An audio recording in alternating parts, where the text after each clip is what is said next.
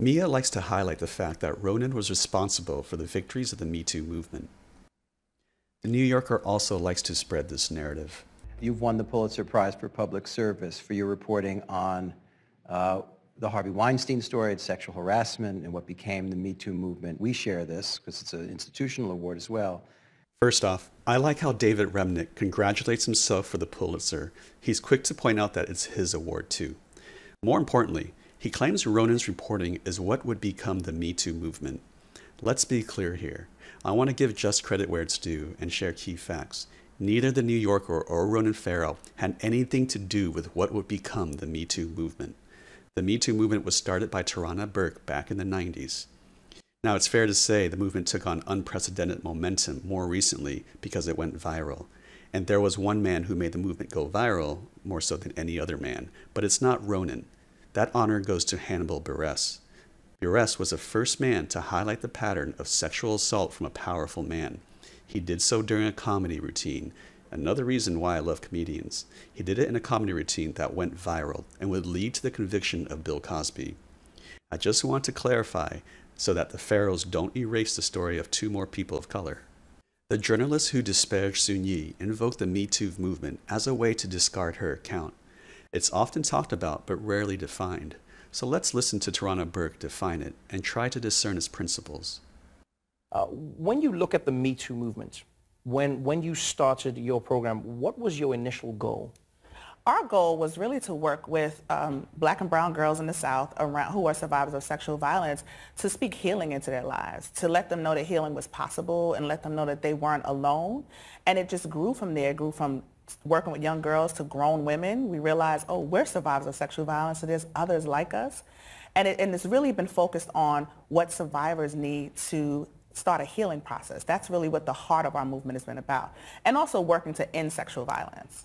And if you, if you look at this world that we live in now, mm-hmm. the Me Too movement has become uh, synonymous with men being brought down. Right. I often hear people say the phrase, oh, Me Too claims another victim or another win for Me Too do you think that's the right way to frame it? Do you think maybe people are missing the point of what Me Too is meant to inspire? Absolutely. It feels like playing whack-a-mole after a while, right? Right. It's like who's the next person Me Too is going to take down, and that's not really our focus. If as a byproduct of people coming forward and telling their truth, then there's justice that happens, there's some kind of retribu- um, you know, resolution that happens right, from right. that, then that's fine. But our goal is really to support the survivors and to make sure survivors are in a place of leadership in the, in the work to end sexual violence. It's not about taking down powerful men. And it's not a woman's movement either. That's another sort of misconception. It's a movement for survivors. In other places, Tarana Burke consistently brings up these points. I found numerous examples of her saying it's about women of color. This doesn't mean we ignore other victims, but we focus on women of color because they have been historically ignored by the public. She also says consistently it's not about shaming men or going after them and taking them down. In this interview, she points out she doesn't believe in calling people out or in having witch hunts. She says we can't just get rid of people regardless of what they do. We need a better standard than that. She also introduces a few other key concepts empowering empathy, reducing harm, and restorative justice. What exactly is restorative justice? It's a concept of justice that focuses on community, communication, empathy, and shared understanding. It allows offenders to take accountability while addressing the needs of the victim. It focuses on healing. It's about reconciliation rather than retribution. It's an interesting concept and disparate in its methodology, but in the few places where it's been rolled out, it does appear to work. Both the victim and the perpetrator seem satisfied with the outcome, and criminals who go through the process are less likely to commit the crime again. But restorative justice requires dialogue and listening. In other words, it's the opposite of retribution, shaming, vilification, and taking people down. So these are the key concepts of the Me Too movement according to its founder. Okay, so let's look at the abuses in Mia's home. First, we ignored the testimony and abuses of women of color like Soon-Yi, Tam, and Lark. But it's also not just about women, but all victims. Yet we ignore Moses and the death of Thaddeus. And the idea of restorative justice is to try to come to a shared understanding of what happened. To me, coming to a shared understanding means reviewing all of the facts and all of the testimony and coming to a shared truth that corroborates. But that's not what we did. The Me Too movement is also not supposed to be about shaming men or taking down powerful men. Yet the public takedown of Woody is a witch hunt if we define witch hunts as a public persecution without credible evidence. And for those who think Tarana Burke supports all allegations of sexual assault, they haven't paid attention to her history. What was Tarana Burke doing before the Me Too movement? She was advocating for the Central Park Five. In other words, she was defending innocent boys against false accusations of sexual assault. Tarana Burke does not support baseless accusations, accusations like Dylan Farrow's. These journalists invoke the Me Too movement to disparage Soon Yi's account, but they don't even seem to be aware of its guiding principles. In the abuses in Mia's home, the Me Too movement has lost its way. Soon Yi was right when she said Mia Farrow is simply taking advantage of the Me Too movement to continue her vendetta. And all of us fell for it, hook, line, and sinker. But the public was so possessed by the wrong idea of the Me Too movement that they fell right into Mia's vendetta.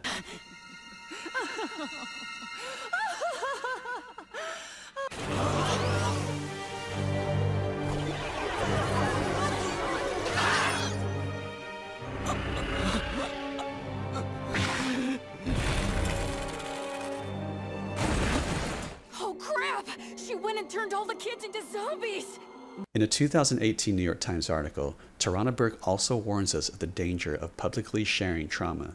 She was concerned that survivors were getting the wrong idea, that they felt they had to tell their story of abuse on social media or verbally in a public setting. But she points out reliving that trauma is not necessarily healthy, and doing it publicly may not be healthy either. She says, I want to teach people not to lean into their trauma. This reminds me of something Samantha Geimer said earlier that Me Too shouldn't just be about listening to victims writhing in pain, but it should be instead about empowering women.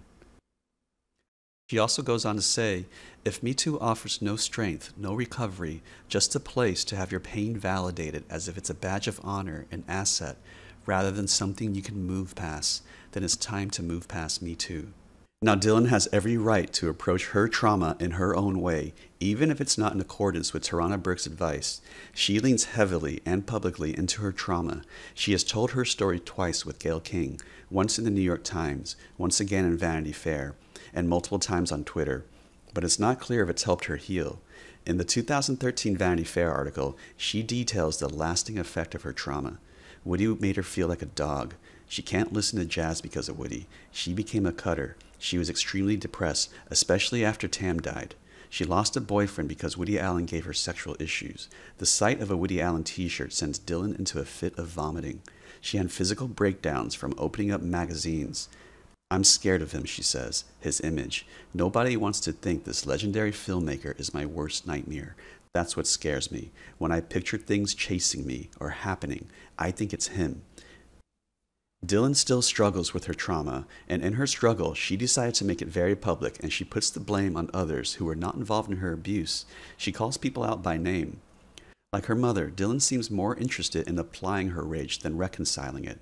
She uses Twitter to attack numerous actors and actresses. She accuses them of enabling a system that perpetuates sexual violence.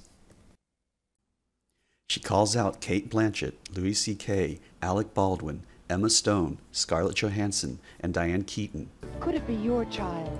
Dylan also attacks Jim Belushi and Justin Timberlake and Kate Winslet. She reminds them that she will be triggered every time she sees a movie ad or a review of a movie or any time Woody's name is even mentioned. She attacks actors who have come out in support of the Time's Up movement, calling them hypocrites. She attacks Scarlett Johansson, saying she doesn't understand the cause she champions. She criticized Justin Timberlake, saying he loses credibility because he continues to work with Woody. She claims she is re victimized every time these actors ignore her or don't believe her, once again placing her trauma on them. Ironically, she points out these actors' hypocrisy in ignoring or disbelieving her, but she did the exact same thing to Moses and Soon Yi. So, like Ronan, Mia's rage has made Dylan a hypocrite as well. In Dylan's world, only she can be the victim in Mia's home. The other victims should be quiet. But the Me Too movement was supposed to be about healing, not silencing other victims. It wasn't supposed to be about shaming men or actors and actresses. It was supposed to be about survivors of abuse empowering each other. Dylan, Moses, and Soon Yi should be able to share their story of abuse with each other and corroborate known facts and come to a shared understanding of what happened and help each other heal rather than arguing in public posts. Isn't that the philosophy of the Me Too movement? Unfortunately, they can't because Mia's rage has led to their mutual estrangement. It's a divide and conquer strategy that worked to protect Mia from the collective accusations of her children. When Mia said Soon Yi is dead to us, the rest of the kids really listened, and they continued to listen to her for decades. And because of that, brothers and sisters haven't been able to help each other reconcile their abuses. Dylan has been very public about her indignities, but Soon Yi has also suffered indignities. She's just been relatively private about it. Not only did her parents disown her, she had to watch her mother shower her white siblings with more love, while she was forced to clean up after them. She had to listen to her mother's vicious lies about her birth mother. And despite helping her mother take care of the house, she got slut shamed by her mother, and Vanity Fair said she had subpar intelligence. Growing up, Soon Yi helped take care of Ronan and Dylan. She carried them around, bought their groceries, and now she watches these ungrateful siblings tell her that her story doesn't matter that her voice is less important, that she is re victimizing them. She watches her white siblings scream to the world that they care about victims while they simultaneously ignore her own story of abuse. There is a reason why Mia will never be held accountable for her crimes, and it's not just because some of her victims are dead. It's because of the good grace of Soon Yi and Moses. They just don't seem interested in getting Mia prosecuted. Unlike Dylan, they don't want to vilify their abuser. They don't need her charged for her crimes, whether in the courts or the court of social media. They appear only to want to speak their truth so the madness around Woody would end. They did something that Dylan has not been able to. Moses and Soon Yi dealt with the truth of their abuse. As horrific and as difficult as it is, they looked squarely at what happened to them. They understood the depth of Mia's rage, and they were able to evolve from it. They don't need the courts and justice system to resolve their personal trauma. They don't need celebrities to believe them. They resolve their trauma outside the public light, or as Moses points out, with self reflection, professional help, and support from those he loves and who loves him in return. They dealt with one of the hardest things to deal with in life. And no, it's not physical abuse. It's the emotional abuse and the neglect in knowing that your mother will never love you, that for you to be happy, you have to stop trying to earn her love. That for you to become your own person, you need to stop trying to please her. You need to kill the idea that she will ever love you. And that means you need to be the villain in your mother's eyes.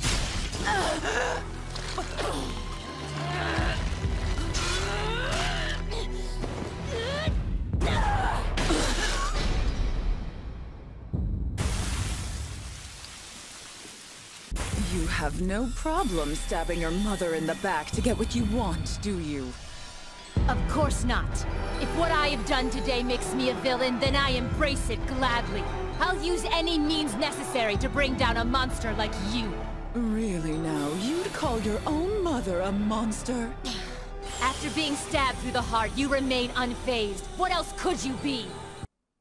Mia liked to say that Dylan didn't want to see her father after the false allegations were made. However, as with Ronan, observers noted the opposite. Miss Thompson testified that Dylan loved Woody dearly, even after the false allegations were made. Dr. Coates even testified that she thought it would be good for Dylan if she maintained a relationship with her father. It sometimes takes a lifetime to see your parents for who they truly are, and some people never do. Will Dylan ever be able to reconcile the truth of what happened to her and what Mia did to her? Recall what social workers who supervise Woody's visitations observe that Ronan said Mia was going to use therapy and doctors to erase Ronan's love for his father. That's the extreme level of gaslighting she was willing to employ with Ronan. Did she do the same thing with Dylan? Will Dylan have the resilience to unravel decades of gaslighting and possible therapy by her mother to reconcile the truth with her older siblings? It doesn't seem likely. Dylan has since become a public advocate for victims of abuse. Like Ronan, her career has been built around Mia's rage and her lie. Rather than reconciling the many truths of her past, she doubled down on her mother's lie, and it has worked for her benefit. She has remained in her mother's good graces, unlike the many women Mia fired and the many children she discarded. Dylan has received a book deal. The scandal, the false allegations, having her name in the media garnered the book enough attention that she was offered $250,000 before she even finished writing it. This is rare, if not unheard of, for an unpublished writer. I don't mean to suggest that Dylan isn't entitled to her success. She is. Much like Dory turned her trauma into success, Dylan should be able to do that as well. Mia has awarded her favored children with opportunities, and Dylan went from relative obscurity to public recognition to a book deal in record time. My point is that it makes it much harder to unravel the truth of your trauma if your belief in the lie continues to reward you materially but no amount of material reward will help reconcile Soon-Yi and Moses' testimony in her own abuse. In the Vanity Fair article, Dylan admitted that the death of Tam exacerbated her depression. They were close. Could she see that it was Mia that drove her friend and sister to suicide? And if she wanted to get to the truth, my sense, based on Moses' blog, is that she would find she wouldn't have to go at it alone. She may find help from those older siblings, the ones Mia discarded, but she would have to do it without Mia Farrow. But then again, now she has a writing career based on a lie. It's a fitting trajectory. The first story Dylan ever told was a fiction.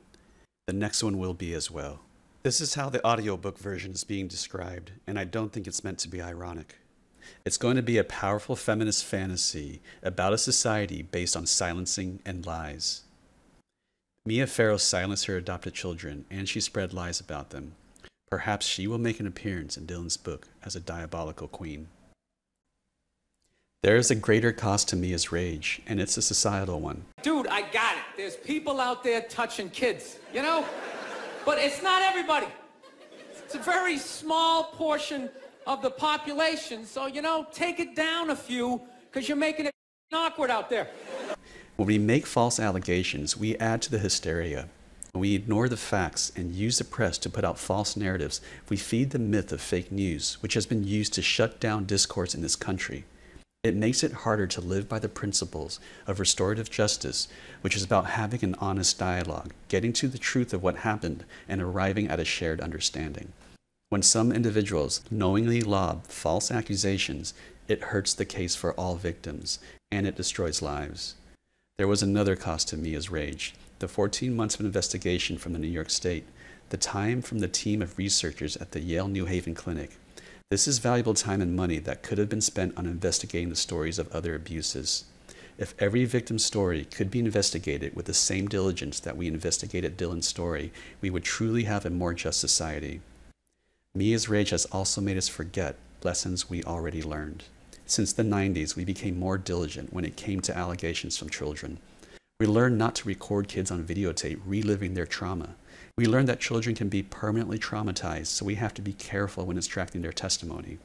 We learned not to force them to repeat their story of trauma over and over again over three days, and that such testimony may likely be inadmissible. In effect, we learned to be both sensitive yet suspicious about the stories from children. We also learned that the false accusations can take on a life of their own and can lead to public hysteria, a hysteria that prevents dialogue, shames innocent people, and sends innocent people to jail. We also learned from Tarana Burke that we should pay attention to the experiences of people of color since the media tends to ignore them. We learned that we should listen and create dialogue and not back false allegations or single mindedly shame powerful men. In the case of Woody Allen and Dylan Farrow, we have unlearned all of those valuable lessons. This is perhaps why Gore Vidal calls us the United States of amnesia. We have all been gaslit by Mia Farrow. It still affects us. Spike Lee made great films that reveal the complexity of race. Do the Right Thing and BlacKkKlansman lost awards in years that Driving Miss Daisy and Green Book won. Driving Miss Daisy and Green Book are goofy films about white and black people driving each other around and becoming friends. No one even cares about these films anymore. But Do the Right Thing still resonates to this day. Like Soon-Yi and Moses, Spike Lee knows something about having your story stolen by a white narrative. Yet despite his bona fides, he too is not immune to Mia's rage. Well, I just like to say Woody Allen's a great, great filmmaker. And this cancel thing is uh, not just Woody. And I think that when, you know, when we look back on it, is when to see that, I don't know if you just short of killing somebody, I don't know, you just just erase somebody like they never existed. So Woody's a friend of mine, a fellow Knick fan, so I, I know he's going through it right now. All Spike Lee really said was that Woody was a friend of his. The conversation had nothing to do with sexual violence, but the backlash Lee received was harsh enough that he felt he had to apologize on Twitter. Mia's white rage is still erasing the perspectives of people of color, just like how she erased her abuses against those poor Asian immigrant children.